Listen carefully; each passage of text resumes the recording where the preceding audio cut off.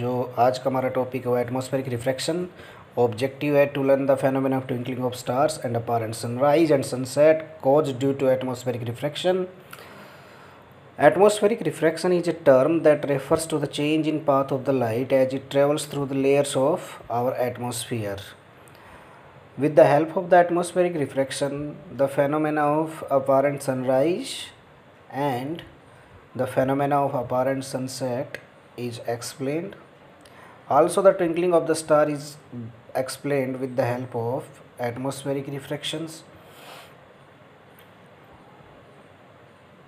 Now we will see how the atmospheric refractions is happening when the light rays coming from the sun to the earth. As we are seeing here around the earth there is uh, layers of the atmosphere. So there is denser medium. When the sun is at horizon and the light rays are coming from the sun to the earth surface, as the light rays enter into the atmosphere, the light rays start bending towards the normal.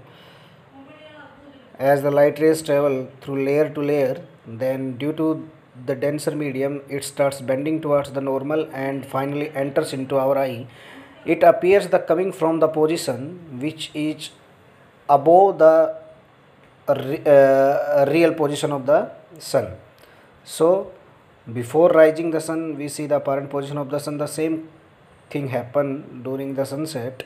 When the sun is below horizon then it appears above the horizon due to atmospheric refraction. And the bigger size of the sun and the moon when they are at horizon is also due to the atmospheric refraction. When they are distant very far then they appear smaller in size with the help of the atmospheric refraction the twinkling of the star can also be explained. The same kind of thing happened as we discussed in the sunrise and sunset. The light rays coming from the uh, stars enter into the atmosphere and due to the denser medium the light rays bends towards the normal and the we see the apparent position of the stars. Due to change in density the position of the stars apparent position of the stars changes and that's why they appear twinkling so the summary of uh, our atmospheric refraction is uh, change in the path of the light as it travels through the layers of the atmosphere light rays bend towards the normal when passing from a less dense medium to denser medium and the twinkling of the star is due to atmospheric refraction and turbulence of air. Thank you my dear students.